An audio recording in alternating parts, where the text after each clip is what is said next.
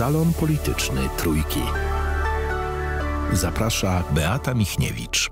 A ze mną w studiu marszałek Senatu Małgorzata Kidawa-Błońska. Miło mi, witam panią. Dzień dobry, witam panią, witam państwa.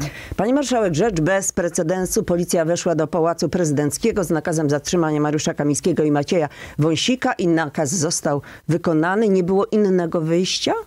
Znaczy, był wyrok sądu, był nakaz i trzeba to wy, wykonać. Żyjemy w państwie, gdzie chcemy, żeby prawo było traktowane poważnie i jeżeli jest wyrok i skazany ma trafić do więzienia, to on ma trafić do więzienia. Prawo jest takie same dla nas wszystkich. Tak, ale ja myślę o tym, czy to musiało się odbyć w ten sposób, e, czyli w Pałacu Prezydenckim Grażyna Ignaczak-Bandych, szefowa Kancelarii Prezydenta, mówiła w telewizji Republika, że panowie nie okazali żadnego dokumentu, że ona to odebrała jako wtargnięcie do pałacu.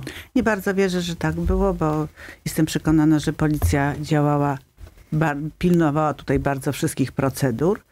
Wydaje mi się, że błędem było to, i to bardzo dużym błędem moim zdaniem, że pan prezydent, wiedząc, że jest wyrok, który należy zrealizować, zaprosił panów do Pałacu Prezydenckiego. Moim zdaniem prezydent powinien naprawdę pokazywać, że prawo w naszym kraju ma znaczenie. Skoro jest wyrok sądu, wyrok prawomocny, to on musi być wykonany. To jest sygnał dla nas wszystkich. Po pierwsze, że politycy muszą się liczyć, że są rozliczani tak jak wszyscy obywatele, a drugie, że jednak Polska jest takim krajem, na szczęście, że znowu prawo zaczyna działać i że jest takie ale, same dla wszystkich. Ale prezydent ma przekonanie, że jego ułaskawienie sprzed kilku lat jest skuteczne. Pan prezydent ma takie przekonanie, natomiast prawo, polska konstytucja, kodeksy prawne i to wszystko, na czym się opiera nasz system e, prawodawstwa, mówi, że nie można ułaskawić kogoś, kto nie był skazany. Panowie Wąsik i pan Kamiński zostali ułaskawieni przed prawomocnym wyrokiem. Więc nawet dla dzieci to jest oczywiste, że nie można komuś powiedzieć, wybaczam ci nie wszystkie wiem, winy. Dla dzieci? Dla dzieci tak, bo dzieci wiedzą, nie można powiedzieć, jest, możesz robić co chcesz, bo ja ci odpuszczam twoje winy. Ale wiedzą, jest, że, jest, że ponosimy Tak, ale jest dyskusja na temat abolicji indywidualnej. Profesor e, Waltoś też w swoim podręczniku z 2009 roku uważał, że taka sytuacja jest możliwa. Dopiero w kolejnym wydaniu mówił, że byłoby to zakłócenie procesu sądowego. Także jest, to znaczy, nie, nie było takie oczywiste od to razu. Znaczy, dla mnie to jest oczywiste. Ja nie jestem prawnikiem, ale słucham autorytetów prawniczych i jednak jeżeli prawo to także jest pewien kład logiczny. Nie można ułaskawiać kogoś, kto nie jest skazany. Teraz, kiedy panowie są skazani prawomocnym y, wyrokiem sądu, taka procedura może nastąpić. O 11.30 prezydent ma wygłosić y, oświadczenie, pewnie w tej sprawie. Czego się pani spodziewa? Nie wiem, co powie pan prezydent. Dla mnie zaskoczeniem było to, że w taki sposób no, pokazujący, że nie respektuje wyroków polskich sądów, zaprosił panów do, do Pałacu Prezydenckiego, więc spodziewam się, że może powiedzieć wszystko. Premier nawet groził tak mi się wydaje, że to była groźba prezydentowi, to powołując było... się na, e, na artykuł kodeksu karnego o udzielaniu pomocy, o przetrzymywaniu. Ale kodeks karny mhm. jest groźbą, jest zapisaniem reguł, które obowiązują w naszym państwie. Czyli... Jeżeli ktoś jest przestępcą, a ktoś przestępcy pomaga, w jakiś sposób ponosi odpowiedzialność za to, że ta osoba w należytym trybie nie trafi, nie trafi do więzienia. A pani e, marszałek, a czy pani czuje taką mm, satysfakcję z tego powodu? Co się stało? Nie, nie czuję żadnej satysfakcji. Po prostu szkoda, że doprowadziliśmy do takiej sytuacji, że raz politycy, dopuszczono, że politycy mogą się zachowywać w taki sposób i, i działać na szkodę i naszego społeczeństwa, wykorzystywali swoje pozycje dla, dlatego, żeby utrzymywać władzę konkretnej partii w taki sposób no, nieuczciwy, bo prowokacje nie powinny mieć miejsca w życiu politycznym. Ale prowokacje, ale prowokacje w, w, w ramach Centralnego Biura Antykorupcyjnego, no już tak. I zdaje się, że, ale że to nie wyraźnie... było poza sądem przeprowadzone, więc to nie jest chyba nie, taka nie jest aż tak. bardzo skoro sąd, sprawa. Skoro sąd powiedział, że to było nadużycie, ja mam zaufanie do sądu.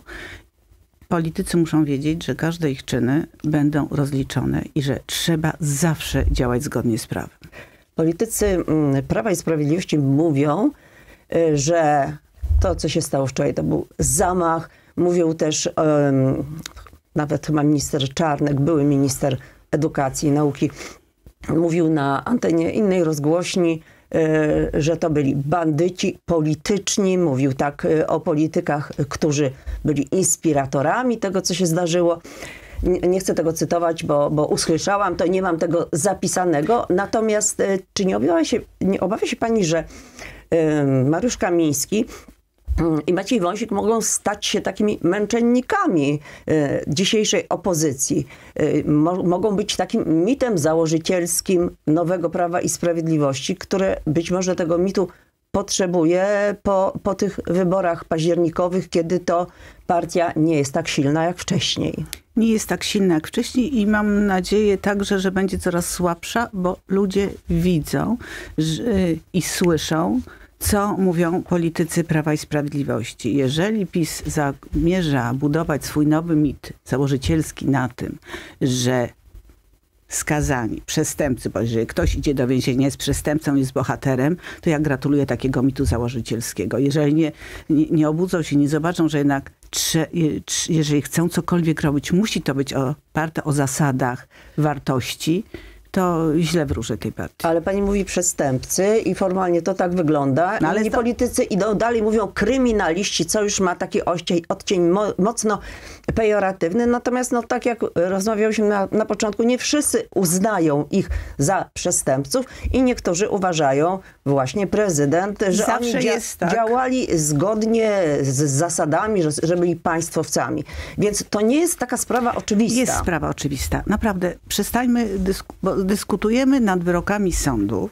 Jeżeli zawsze każdy, kto jest skazany, no zawsze będzie przekonywał, że działał w lepszej wierze, że to nie on. To, to jest normalne i naturalne. Ja co do osób, które y, te wyroki dotyczą, ja ich rozumiem. Ale jeżeli za każdym razem, jeżeli będzie to dotyczyło polityków danej formacji, będziemy mówili, że oni są niewinni i prawo ich nie dotyczy, to będziemy demolowali dalej system naszego państwa. A państwo musi działać. Dla obywateli musi być jasny i czytelny sygnał, że prawo w naszym kraju działa, funkcjonuje, że przestrzegamy kodeksu, przestrzegamy konstytucji i każdy, kto robi wykroczenia przeciwko temu, będzie rozliczony. I obywatele potrzebują przekonania, że, że państwo działa normalnie. A tak? część obywateli protestowała wczoraj przed policją, przed siedzibą policji. Nie część obywa- naprawdę. No obywatele. No, oczywiście, tylko przychodzili tam przekonani, słuchając tego, co mówi prezes, czy słyszeli od y, działaczy po, y, politycznych Prawa i Sprawiedliwości, nie wiedząc, jak ta sytuacja wygląda, bo nie mieli szansy dowiedzieć się. Dlatego bardzo ważne jest, żebyśmy tłumaczyli wszystkim o znaczeniu prawa, o tym, jak wyglądała ta sprawa, że to nie jest ostatnie tygodnie. Ta sprawa toczyła się przez wiele lat. Właśnie, ale to bardzo, chyba to jest wie- bardzo niedobrze, że ona się tak toczyła, prawda? Bo sprawa w ogóle się rozgrywała w 2007. E, Sąd zdają, zajął stanowisko w pierwszej instancji przed ułaskawieniem prezydenta.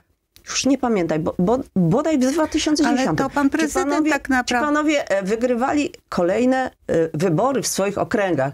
Zostawali posłami i ta sprawa odżyła. Tylko Więc dlatego mogli startować w wyborach, że tłumaczono, że pan prezydent zastosował prawo łaski, ale inne wyroki sądu powiedziały, że to prawo łaski nie może być stosowane w taki sposób, a wyrok ostatniego sądu, który rozpatrzył tę sprawę od początku do końca, dał wyrok prawomocny i to sprawę zamyka. Pani marszałek, czy prezydent, e, przepraszam, nie prezydent, e, marszałek Sejmu Szymon Hołownia dobrze zrobił, podejmując decyzję o przełożeniu e, na posiedzenia Sejmu, właściwie dwóch posiedzeń na przyszły tydzień, bo to są bardzo ważne posiedzenia budżetowe. Właśnie, to są bardzo ważne posiedzenia dotyczące bardzo ważnego dokumentu, czyli budżetu i powinniśmy tam pracować spokojnie. I wydaje mi się, że decyzja marszałka Hołowni, rozumie, no on chce, żeby te emocje, które w tej chwili są bardzo silne i bardzo mocne, nie, nie dzia- były na sali sejmowej.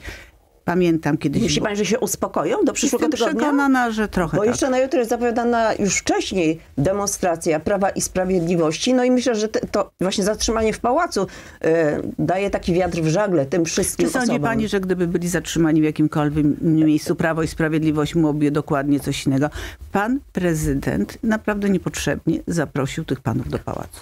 Wiedząc, że będą zatrzymani. Dobrze, czy, czy Senat zdąży? Tak, czy nie zdążymy. Musi, I nie musi przekładać swojego posiedzenia zaplanowanego na zaś My 18 Mamy, stycznia? my, mamy dwa posiedzenia, mm, spotkamy się w przyszłym tygodniu i w następnym i na pewno zdążymy to zrobić. Także wszystkie terminy y, złożenia y, budżetu będą wykonane. Dzisiaj Sąd Najwyższy, konkretnie Izba Kontroli Nadzwyczajnej i Spraw Publicznych, czyli ta kwestionowana przez TSUE, ale mm, jak, jak tłumaczą prawnicy, to nie w każdej sprawie ona jest kwestionowana, ale zostawmy to, e, ma ogłosić, czy wybory parlamentarne, październikowe, były ważne. Do tej pory stwierdziła ważność wyborów i w 2020 roku, i w 2019. Myśli pani, że teraz może być inaczej? Nie wiem, zobaczymy, ale cały czas powtórzę, że także ta izba według TSUE to nie jest sądą i nie ma kompetencji sądu do rozpatrzy, rozpatrywania spraw. No ale te, nikt nie kwestionował rozpatrywania Nie kwestionowano wtedy mówiono, tamtych spraw. mówiono, kwestionowano, tylko emocje były mniejsze.